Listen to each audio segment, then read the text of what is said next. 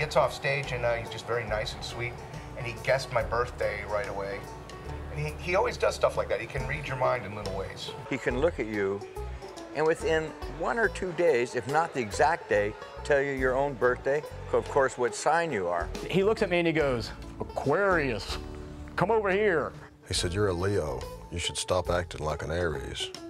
I think I was in the middle of a sentence and he just pointed like this and he went, August 24th at 2 in the morning. May 7th, 46, making me a Taurus. I think Bruce, too, is also a Taurus. I've seen him walk in, guess their sign, the month, and then the day.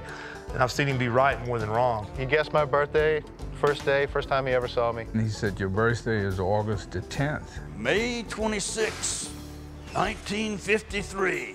And I was like, wow, that is my birthday.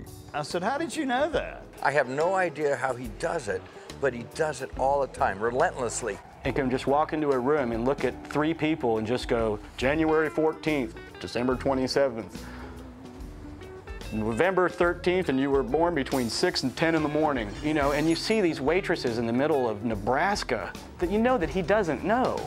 And they don't come back to the table because they think he's a stalker. And it's like, how in the heck does this guy do it? Well, Bruce is a prophet, you know. I mean, people follow him around, you know. I mean, people are going to notice him. He glows with a certain brown mist, you know, that people like to follow.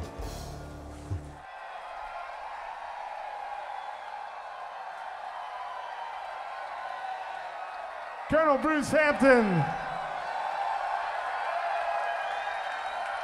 and the Aquarium Rescue Unit. Thank you guys.